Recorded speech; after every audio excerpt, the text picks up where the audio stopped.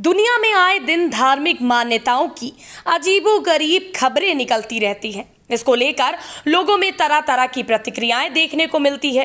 कोई इसे अंधविश्वास बताता है तो कोई इसे विज्ञान से जोड़ता है। मध्य प्रदेश के शिवपुरी ज़िले में ऐसी ही एक घटना हुई तो लोग श्रद्धा भक्ति में डूब गए। ज़िले के पोहरी नगर इलाके में सोमवार को एक पेड़ से अचानक जलधारा निकलनी शुरू हो गई। कुछ लोगों ने इसे देखा तो अन्य लोगों को बताया। देखते ही देखते वहाँ भीड़ उमड़ पड़ी। कई लोग इसे गंगा माँ का आशीर्वाद समझकर, जय हो गंगा मैया की बोलकर पूजा करने लगे।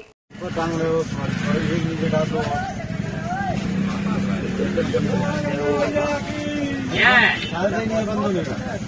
तमाम लोग इसका वीडियो बनाकर सोशल मीडिया पर शेयर कर दिए। दूर दूर से लोग इसे देखने के लिए पहुँचने लगे। अब हालत ये है कि लोग इस जलधारा को पेड़ से निकलती गंगा मानकर पूरे श्रद्धा भाव से पूजा अर्चना कर रहे हैं। कई लोगों ने कहा कि ये साक्षात गंगा जल है। जो भी वहाँ पहुँच रहा है, वो हाथ जोड़कर पूजा करने के बाद इसका जलपान कर रहा है।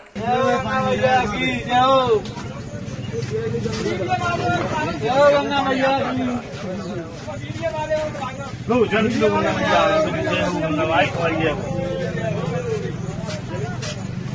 दूसरी तरफ़ कुछ लोगों का कहना है कि ये गंगा जल नहीं, बल्कि पेड़ के नीचे से कोई पाइपलाइन गई है। वो जड़ों के बढ़ने से टूट गई है और उसका पानी लीक होकर बाहर निकल रहा है। सोशल मीडिया पर उसको लेकर कई तरह के कमेंट भी आ रहे हैं।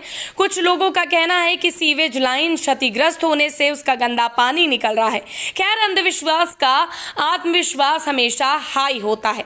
ऐसे में कुछ भी हो सकता है। Bureau report, Jansandesh Times.